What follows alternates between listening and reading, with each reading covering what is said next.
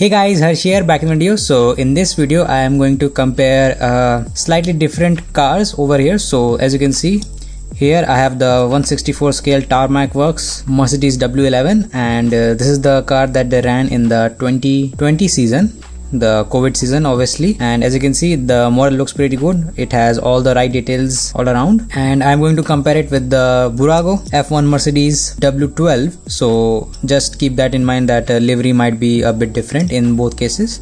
So this is the w12 which they ran for the 2021 version. And this is the w11 which they ran for the 2022 versions. And basically as you can see it it comes with the driver's helmet. So the cost of this 1 for 243 scale model and the 1 to 64 scale model is actually the same. So what i want to do is just get a quick comparison to see how they each have their own sort of details in them and uh, what you can expect when you purchase them. So let's get started so let's start off with the packaging and as you can see both of them comes in this uh, very nice cardboard box but uh, the tarmac one doesn't come with an acrylic case and the Bburago one does come with one. So it's basically up to your choice if you want to put it in a showcase or display it with the case. So depending upon you, on your need you can give one point to each or none to either of them. That doesn't really matter. I'm just comparing them side by side. So the Bburago one as you can see has uh, the original AMG petronas formula 1 team logo there and also the tarmac one does but uh, it has the mercedes official product but uh, the amg formula one is just uh, this uh, imprinted on the board. So that's pretty strange. I mean they both uh, do the same job but uh, have some sort of different stickers going on them. And i've said before this is the 1 to 64 scale so your normal hot wheels version will work perfectly with it. So you can place it with other 1 to 64 scale models. And this is the 1 to 43 scale version as you can see right over here. So let's just unbox them. The Bburago one just slides out like this one. And you can see we have a nice plastic acrylic case which you can basically put on a tabletop or on a shelf. And that would protect the model from getting any dust inside them. So that's pretty nice. Now if we move on to the tarmac one then it's just a simple like uh, mini GT and all the other stuff. So just comes out nice and easy. Or not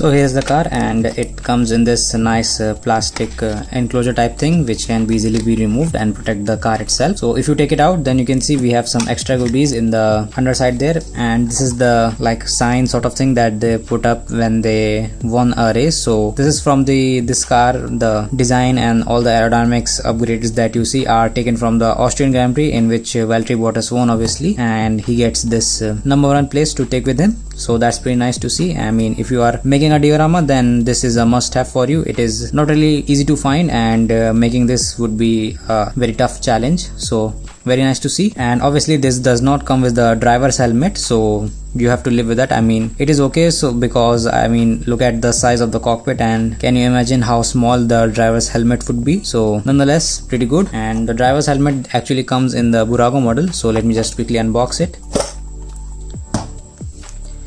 and here you can see here's the driver's helmet. Still quite not sure how they are able to manage this much detail in such a small space but uh, still it quite amazes me. As you can see so let me just quickly unscrew it from its base. And it is actually a quite a nice base with the company logo and the name of the car. So pretty nice to have as well.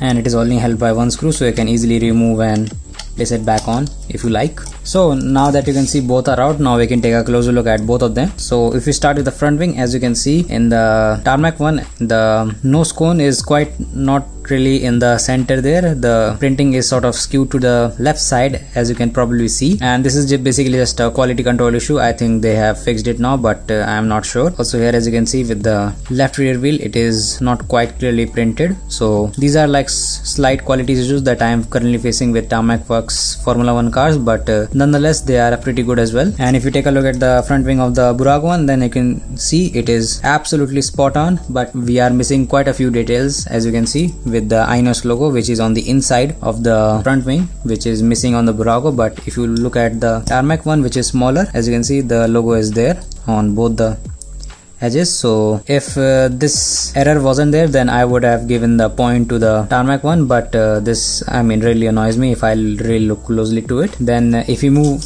further on to the suspension I mean it's quite clear how, who is the winner. It is the tarmac one. But uh, I'm not sure how they were able to fit this much detail in such a small car. It is quite astonishing to me. And also if you look at the antenna there it is quite clearly visible. And the antenna on the Bburago is absolutely not there for whatever reason. I don't know. The IWC logo if you look closely you can see we have another sponsor underneath the IWC logo but uh, for the Bburago one it is missing. So as you can see Bburago has quite a few flaws compared to the tarmac one but uh, for me both model looks pretty good. Now moving on this this is the main thing about the Bburago model which they have not done is actually marking the inside of the front wheels. So if you watch the races from the onboard uh, this cam T cam over here then you may be able to see the tire compound which is either soft hard or medium according to the color. It is currently medium which is the yellow tire. So they are also printed red yellow or white on the inside as well which was missing on the Bburago versions till the 21 season but for the 22 season which uh, the cars are lined up all over there they had this issue fixed. So now we also get the markings inside the tire which add obviously adds a lot more detail to the car. But for the tarmac one as you can see right off the bat they have uh, paid attention to the detail and and printed the inside of the vehicle as well. So obviously this point goes to tarmac works as well. Now moving on to the barge board area or the side board area then you can see that uh, both of them are quite uh, accurately detailed but uh, I have to give the point to the Bburago here because of the size. They were able to add a lot more detail than the tarmac one does. So there are some places where the Bburago one excels and uh, the AMG logo as, as you can see it is quite not clearly visible but for the Bburago one it is quite big I mean. So it is quite nicely visible. Now if we move on to the halo then you can see that uh, the halo does have a similar finish to the car body itself. And what I mean by is that if you look at the Bburago one then you can see the whole car has a metallic finish but the halo does not have that. It is slightly matte in finish. Don't know for whatever reason. Maybe because uh, this is plastic and this is metal. So that may be one of the reasons. That's why. So I mean that's just the way how physics works. So not going to complain there. Now if you move on to the cockpit then you can see obviously the driver's helmet is missing on the tarmac one uh, but uh, I think they compensated it quickly with the this thing over here which I still don't know the name of. So moving on to another detail which is the T-cam. So in every team they for some reason paint the T-cam yellow for their second driver so at the time Valtteri Bottas teammate was Lewis Hamilton obviously. So Lewis Hamilton was Mercedes first driver and Valtteri Bottas was second. So they painted their T-cam yellow. And obviously you can see the detail is quite clearly visible on the tarmac one but uh, for Bburago as you know they are not very fond of the yellow paint so they have messed it up quite a few times in the past so not so I mean I didn't expect this to be correct as well and just left it there. Now if you look at the body of the car then you can see that there is a slit cut out over here on both the side. So what happens is basically this piece over here is a separate piece which is made out of plastic and then the rest of the body is made out of metal. So the whole body is not made out of metal metal only this portion here that you see with the Ineos logo and the AMG and the number 77 is uh, actually plastic. And if you look at the tarmac one then it is as a whole uh, a resin model which is I mean I have never held a resin model but it is quite heavy so and obviously the Bburago one is heavier as well but now moving on to the print quality obviously the livery change is prominent but uh, if you look at the livery on the tarmac one then you can see the one of the AMG logo is slightly painted red over here right next to the 77 logo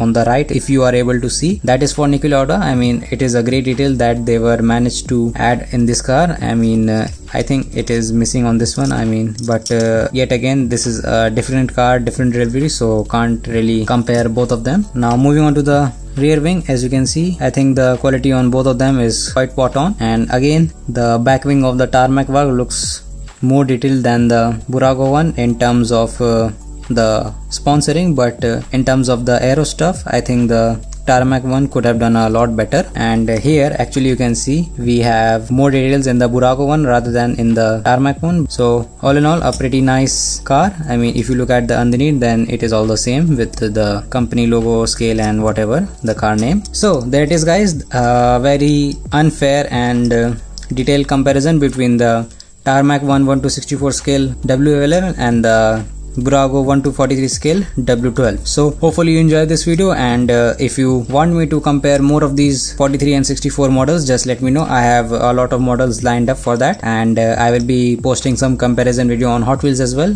with mini GTs so stay tuned for those videos as well and uh, if you have any doubts regarding this video you can comment down below and I will see you all in the next one